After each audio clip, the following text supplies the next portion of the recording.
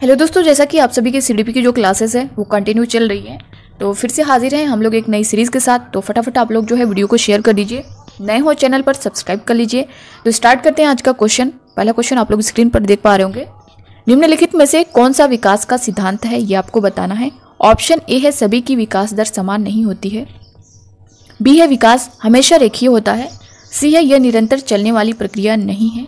D है, विकास की सभी प्रक्रियाएँ अंतर संबंधित नहीं हैं। तो इसमें पूछा है, कौन सा विकास का सिद्धांत है, ये आपको बताना है। ऑप्शन ए देख पा रहे होंगे आप, सभी की विकास दर समान नहीं होती है। दोस्तों, यही आपका करेक्ट आंसर होगा ऑप्शन ए। क्योंकि दोस्तों, विकास की जो प्रक्रिया होती है, वो जो है अविराम गति से जो निरंतर चलती रहती है, पर यह गति कभी तीव्र व कभी जो मंद हो जाती है। उदाहरण के तौर पर अगर हम बात करें, जैसे शरीर के कुछ भाग को, कुछ किसी पार्ट को हम ले लें तो इसका जो कुछ पार्ट में जो है विकास जो है तेज़ी से होता है और कुछ में जो है धीरे धीरे होता है। यानी कुछ में तीव्र गति से, कुछ में मंद गति से होता है। तो इस तरह से सभी की विकास दर समान नहीं होती है। ऑप्शन ए आपका करेक्ट हो जाएगा। अगला क्वेश्चन हम लोग देखते हैं। मानव विकास को क्षेत्रों में विभाजित किया जाता है, जो है ऑप्शन ए है शारीरिक, संज्ञानात्मक, समेगात्मक और सामाजिक। बी है समेगात्मक, संज्ञानात्मक, आध्यात्मिक और सामाजिक, मनोवैज्ञानिक। सी है मनोवैज्ञानिक, संज्ञानात्मक समेगात्मक और सामाजिक। डी है शारीरिक, आध्यात्मिक, संज्ञानात्मक और सामाजिक। मानव विकास को क्षेत्रों में विभाजित किया जाता है, जो है, ये आपको बताना है। दोस्तों, मानव का विकास जो होता है, प्रत्येक क्षेत्र में साथ साथ होता रहता है। साथ ही साथ उनमें जो आपस में सामंजस्य भी स्थापित होता रहता है और वे जो है, एक दूसरे के पूरक के रूप में कार्य करते रहते हैं। और मानव विकास में सबसे महत्वपूर्ण होता है मनोवैज्ञानिक विकास। ठीक है? सबसे महत्वपूर्ण जो होता है दोस्तों, वो मनोवैज्ञानिक विकास होता है। इसमें मानव किसी भी कार्य को करने के लिए मानसिक रूप से जो है उन्हें तैयार होना चाहिए। उसके बाद जो है वो उस क्षेत्र के बारे में जानकारी ले और उसे अपने संज्ञान में लाकर उस पर विचार करता है। तो पहले पे आपका मनोवैज्ञानिक आएगा सेकंड पे आएगा आपका संज्ञानात्मक, ठीक है? और उसके बाद जो है दोस्तों, उस पर अपने विचारों को सोच समझकर उसे प्रस्तुत करता है और अंत में जो है सामाजिक विकास की, उसकी आवश्यकता होती है तो हमारा जो फ़र्स्ट होगा, मनोवैज्ञानिक होगा सेकेंड पे संज्ञानात्मक आपका आएगा थर्ड पे समेगात्मक आएगा और फोर्थ पे सामाजिक आएगा। तो ऑप्शन सी आप देख पा रहे मनोवैज्ञानिक, संज्ञानात्मक, समेगात्मक और सामाजिक। ये ऑप्शन सी आपका करेक्ट आंसर होगा। अगला क्वेश्चन देखते हैं। एक शिक्षिका पाठ्य वस्तु और फल सब्जियों के कुछ चित्रों का प्रयोग करती है और अपने विद्यार्थियों से चर्चा करती है।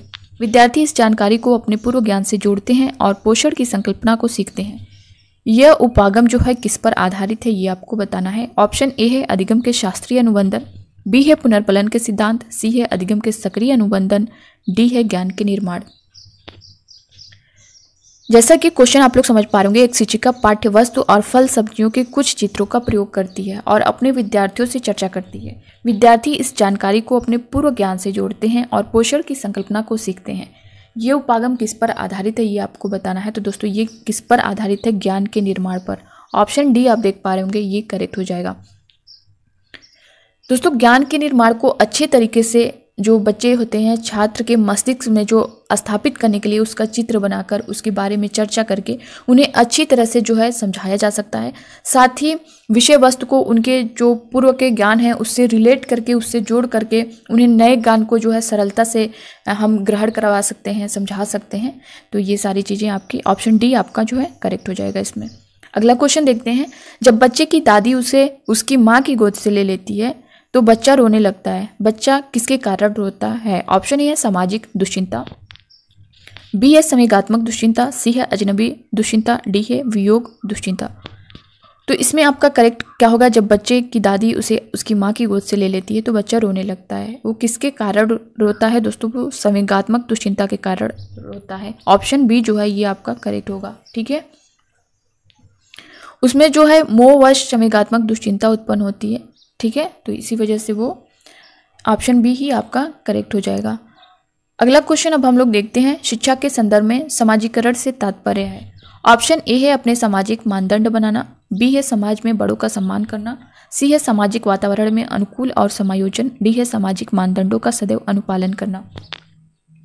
शिक्षा के संदर्भ में सामाजिकरण से तात्पर्य है, ये आपको बताना है। तो दोस्तों ऑप्शन सी देख पा रहे होंगे, सामाजिक वातावरण में अनुकूल और समायोजन। ऑप्शन सी आपका करेक्ट आंसर हो जाएगा। शिक्षा सामाजिकरण की प्रक्रिया को सरल बनाती है क्योंकि शिक्षा के माध्यम से जो है मनुष्य सामाजिक मूल्यों, आदर्शों, व्यवहारों को सीखता है और अपने आप को उसके अनुरूप बनाने का प्रयास करता है। तो ऑप्शन सी आपका इसमें करेक्ट रहेगा। अगला क्वेश्चन देखते हैं। राज्य स्तर की एक एकल गायन प्रतियोगिता के लिए विद्यार्थियों को तैयार करते समय एक विद्यालय लड़कियों को वरीयता देता है यह दर्शाता है। ऑप्शन ए है वैश्विक प्रवृत्ति, बी है प्रयोजनात्मक उपागम, सी है प्रगतिशील चिंतन, डी है लैंगिक पूर्वाग्रह। दोस्तों, जब किसी संस्था या फिर कक्षा में लिंग के आधार पर किसी एक वर्ग को वरीयता दी जाती है, ना तो इस प्रक्रिया को जो है लैंगिक पूर्वाग्रह के नाम से जाना जाता है। तो ऑप्शन डी आप देख पा रहे होंगे, लैंगिक पूर्वाग्रह, ये आपका करेक्ट होगा। अगला क्वेश्चन देखते हैं। दोस्तों आप लोग नए हो तो चैनल को ज़रूर सब्सक्राइब करिएगा क्योंकि बहुत सारे ऐसे अभ्यर्थी हैं जो वीडियो तो देखते हैं मगर अभी तक चैनल को सब्सक्राइब नहीं किए हैं तो आप लोग कर लीजिएगा। बेल आइकन को प्रेस कर लीजिएगा ताकि आपको नोटिफिकेशन टाइम पर मिलता रहे। और दोस्तों वीडियो को ज़्यादा से ज़्यादा शेयर करिएगा ताकि अगर आप ऐसा करते हैं दोस्तों तो मुझे भी मोटिवेशन मिलेगा। मैं और जो भी मिस्टेक आपको लग रहा होगा कि कुछ मिस्टेक है या फिर आ, कुछ ना समझ में आए तो आप लोग कमेंट बॉक्स में कमेंट कर दिया करिए ठीक है? मैं उसको नेक्स्ट वीडियो में सॉल्व कर दूँगी। वाइगोस्की बच्चों के सीखने में निम्नलिखित में से किस कारक की महत्वपूर्ण भूमिका पर बल देते हैं? ऑप्शन ए है आनुवंशिक, बी है नैतिक, सी है शारीरिक, डी है सामाजिक। तो दोस्तों वाइगोस्की से रिलेटेड आपका एक क्वेश्चन बनता ही बनता है। ठीक है? ये आपका बहुत ही इंपॉर्टेंट है। यहाँ से आपका एक प्रश्न बनता है वाइगोस्की जिन प्याजे।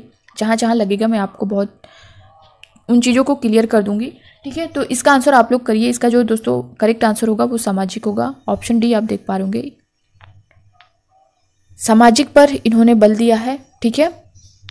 दोस्तों, वाइगोस्की के अनुसार जो बालक के संज्ञानात्मक विकास की व्याख्या, उसके सामाजिक, सांस्कृतिक प्रवेश के परिप्रेक्ष्य में करनी चाहिए।